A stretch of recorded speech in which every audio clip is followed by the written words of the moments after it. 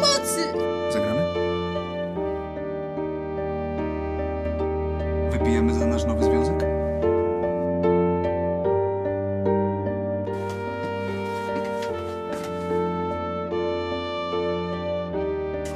Mam dość kurwa ciebie, ty twój pierdolony